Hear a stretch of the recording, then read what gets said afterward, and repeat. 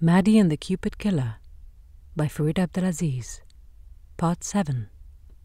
As Mady took the last drag of his cigarette in front of the church, reluctant to go in, Sunny pushed the heavy doors open, looking for him. When he finally spotted him, he approached Mady. Hey man, can I talk to you for a moment? Said Sunny, seemingly determined. Mady did not want a full confrontation with him. He had no power over his sister's life choices. But he did not want to be forced to interact with her future husband. Nevertheless, he wanted the whole thing to be over and done. He nodded. I know you don't like me. No, don't deny it. I'm not dumb. He added when he felt Mady's urge to interrupt him. Before we get married, I want to tell you something. I will take care of Loretta, and I'll do everything I can to make her happy. She's everything to me, and I love her more than anything in this world. I I know you lost your parents, and before we get married, I just want your blessing. Mady looked at him for a long time, then nodded, extending his arm for him to shake.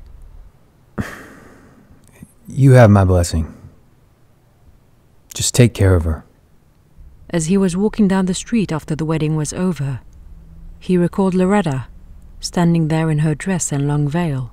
She was glowing and looked exactly like their mother in the pictures she would show them from her youth.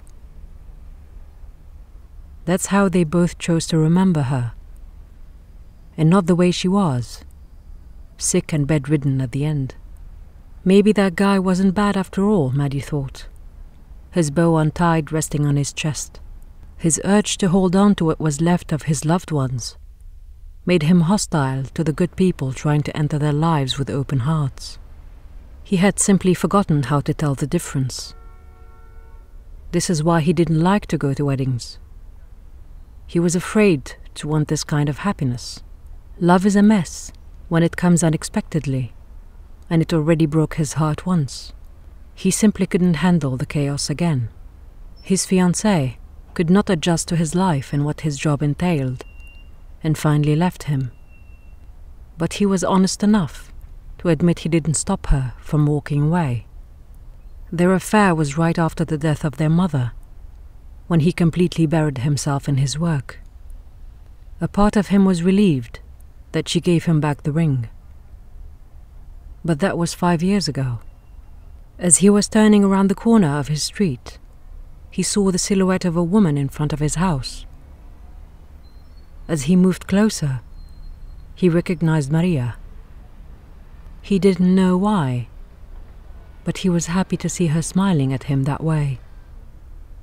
When he finally arrived to a halt in front of her, she quietly grabbed his hand, which took him by surprise. He hadn't realized how much he missed a woman's tender touch.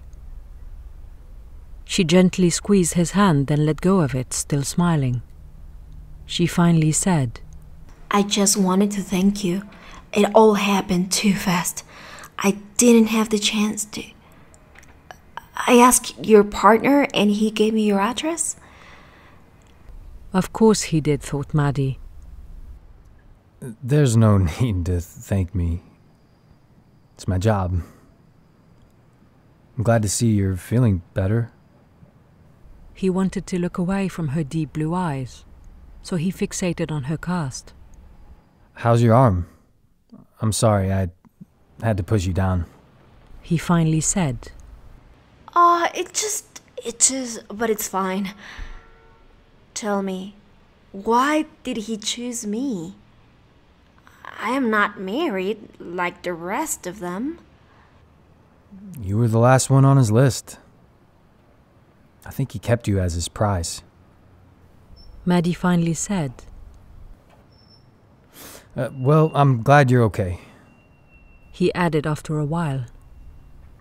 Have a good day, Maria. As he walked past her, headed to his front door, taken aback, Maria nodded silently, immobile for a moment before walking towards her car. At the top of his steps, Mady stopped short, exhaling deeply, looking down. On a moment's decision, he turned round and ran down the steps, out in the streets until he reached her as she was about to get into her blue Chevrolet.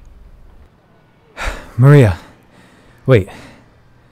Uh, I'm sorry. Um, I'm not good at this. Would you. Would you like to have dinner with me? Maria stared at him for a moment, then stepped away from her car as he closed the door, returning his gaze with a smile.